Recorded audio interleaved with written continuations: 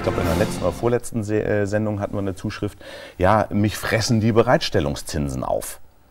Ja, das heißt, also die Bank sagt, sie stellt Geld zur Verfügung. Ja, also ne, sie hat hier die Geldscheine liegen und äh, sitzt auf denen. Im mhm. übertragenen Sinne ist natürlich Kokolores.